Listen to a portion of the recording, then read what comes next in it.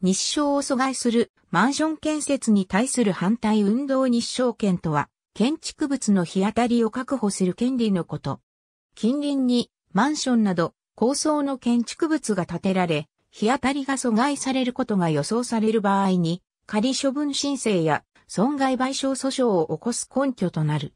日本では、法政大学法学部の五十嵐隆信教授が提唱し定着させた。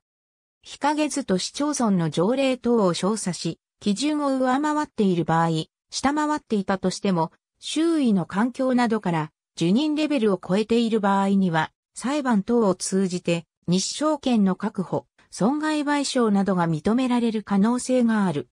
なお、後者については、受任の範囲が個別の具体的な事案ごとに異なっており、建築士側の紛争回避に向けた努力や住民側の歩み寄りの姿勢感で、判決内容に大きな差が出る。五代目、春風亭流昇作の新作落語。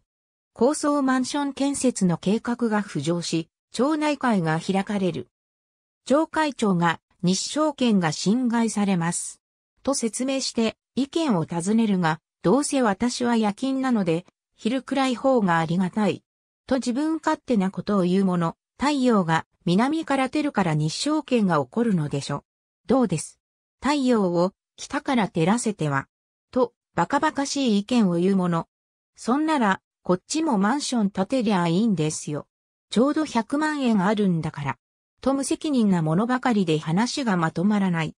魚屋が地主に抗議に行っても逆に丸め込まれ入居してしまい、弁が立つと見えたものは、憲法や民事訴訟法など振りかざすが、ちんぷんかんぷんの意見でみんな呆れてしまう。1970から80年代に盛んに言われ出した環境権をテーマとし、古典落語の五人回し、近日息子、抜け裏などの演目の影響が見られる。